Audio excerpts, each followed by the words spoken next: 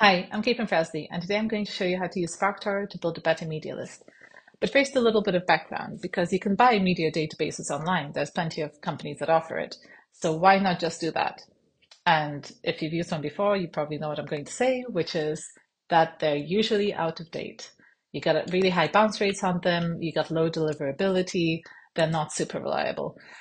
Um, it's more of a spray and pay, pray approach, usually, if you do something like that. Um, it's not just me saying that. If you have a look around online, you can see what people say about media databases that you would just buy. Um, they tend to be not very reliable, usually about three, six months out of date. Some people say more, depending on the sector. Um, and it's just, it's a bit frustrating. Um, at Prezly, and actually you'll see a lot of the big name PRs suggest the same thing. Um, we recommend that you focus on doing your own research and building up a media list over time of journalists and outlets that you can have a relationship with um, and that really fit the niche that you're targeting. So that's sort of what I'm going to be talking about today um, using SparkToro. If you haven't seen SparkToro before, it's an audience research tool. Um, it's not conventionally a PR tool. It's quite a recent thing that we've had since we've had the internet. Um, the point of it is seeing where your audience is spending their time online. And I, I, think you can already see how that could be incredibly valuable to you as a PR person. Um, so I'm just going to demonstrate for you how you can use it to build your media list now. Um, I'm going to be using a paid account, but they do have a free account as well. And like I said, there's also other audience research tools available. If you have a look around, I'm sure there's there's one that you would like for yourself. Um, before I start, um, I would recommend going into the lists area of SparkToro and creating a list uh, based around whatever topic or audience it is that you're researching. This will just allow you to save um, bits of the research that you find into a list that you can later uh, convert into something that has contact details in it. So um, make sure you do this first. And then we can get started with the research. So the way it works is there are three basic searches you can do. Um, they all take pretty much the same format. They just look at an audience from different angles. So for this example, I'm going to pretend that we are representing a brand that is bringing out a new high protein cereal. So what I'm going to do here is look at an audience that searches for the keyword high protein cereal. That's very literal. Maybe it's a good place to start. But from here, we might want to say healthy breakfasts or, you know, keto diets or something like this and see uh, how different audiences uh, look at related related terms. And when the search is done, basically what you get is a list of online locations that people who search for the keyword high protein cereal also spend their time. So immediately that spits out websites that include blogs. Uh, like the number one one here is a is a blog website, um, as well as brand websites. Um, and this gives you an immediate idea if there are some publishers here, which websites you might want to approach with your story if it's relevant. It also gives you an idea of the keywords that people use alongside high protein cereal. Um, and this is great because it gives you an idea of how you can frame your story to better appeal to the people on the websites. It's not just this list, it, it gets way more in depth. And I think what one of my favorite things about SparkToro is, is that it gives you a list of hidden gems because the main websites might be something like CNN or Wall Street Journal, something like really high tier that's going to be hard to target. Um, but the hidden gems tend to be a bit smaller, tend to be a bit easier to approach, so you have a better chance of winning coverage there. Um, as well as that, they'll show you um, a list of media networks and give you an order for how popular they are with this audience. So if I'm looking at people who are into high protein cereal, looks like YouTube is number one for them. So maybe I'll want to look at doing more video content or targeting YouTube creators when I'm trying to spread my story. And in fact, for most topics now, ever since the recent Google updates, YouTube is number one, or at least very high up there. Video content's a big thing. It's kind of why I'm making this video. Um, the same thing goes for all these social accounts. It will um, show you the most popular web uh, social media accounts for this search term. But it'll also show you the hidden gems, which again could surface some influences that talk about your topic. And what's really cool as well is it'll give you trending keywords. So again, this can help you have an idea of how to frame your story so that it's relevant now. Usually the trending keywords are relevant for a few months. Um, and yeah, it can just give you a different way of telling the story um, for, for more recent coverage. What I really like as well is um, not only does it give you YouTube channels and podcasts that again you can approach. This this this isn't the full list. If you click through, there's a lot more more there. It also shows you the subreddits where this audience is going to have conversations about this topic, which is great because that means you or people in your team can go and actually engage with them, actually speak with these people, get content ideas, but also just relate to them and get your story out there that way.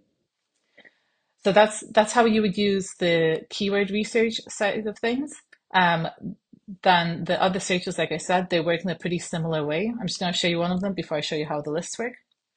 So um, on the previous search, you saw that the number one result was a website called eatingwell.com. So on this search, we're looking at the audience of that website. And there's a few benefits to this, like uh, just for, for sort of brand research purposes, it's great at looking at what kind of audience visits your website, what kind of audience visits your competitor website, if maybe you want to do some retargeting ads on them or try to poach them in some way. But for media relations, I think this is really cool because it helps you understand the audience of the people you're going to be pitching. And you can even tell them this during the pitch. So here I might send, uh, if I was pitching someone at eatingwell.com, I could say, okay, right, so I have a story about my protein cereal. I've done some research and I can see that the people who visit your website, like your frequent readers, they're also interested in recipes, like a lot. And they also are interested in healthy recipes that will help them lose weight. So not just protein, but specifically healthy snacks. Um, healthy snacks that will will help you lose weight. So I can say, here is how I can frame my story knowing those facts. So here's how my cereal can fit into this marshmallow cereal, cute, like you know, those little snacks. That sort of recipe, and if you eat those for breakfast instead of this other cereal or whatever, it'll help you lose weight, help you go to the gym, and like get more energy out that way. Um, and that's a much more effective pitch than just saying, "Hi, I've got a new cereal. Do you want to write about it?" Um, again, with the search like the previous one, you get all the same information, but one step removed. So you have the hidden gems again. Um, and here, because the we already know that most people who are reading Eating Well are probably going to be interested in the keyword search that we did before, so in the uh, high protein cereal search. I can assume that some of the people who are on RecipeTin Eats are probably also going to be interested in my topic. So maybe then I'll work with the marketing team to get some ads out on that on uh, those other sites. Uh, maybe I'll approach um, one of these sites that's one removed and see if we can do like some shared content, a blog post, something like that. And again, yeah, with the hidden gems, they'll be slightly easier to approach than the big than big names. Same thing for uh, the hidden gems around social media. And again, with the keywords, it's one step removed. So again, you're broadening the topics you can talk about with relation to your product. And same again here. You can approach those new YouTube channels, approach those podcasts.